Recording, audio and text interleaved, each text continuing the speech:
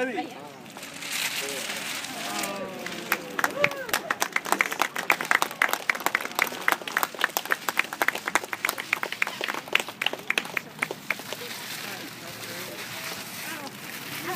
So some more things you'd like to point out now that Oh, we've seen well, um, a variety of ages, little children.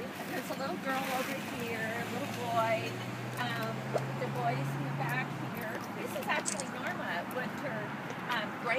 dance from Aguas Calientes. Um, my Spanish is really good.